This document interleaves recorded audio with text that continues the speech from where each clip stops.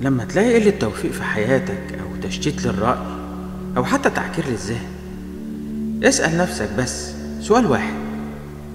هو أنت أعطيت صلاتك لله سبحانه وتعالى حقها ولا أنت قصرت؟ راجع نفسك وابتدي من جديد ما تخافش. ربنا موجود ومطلع على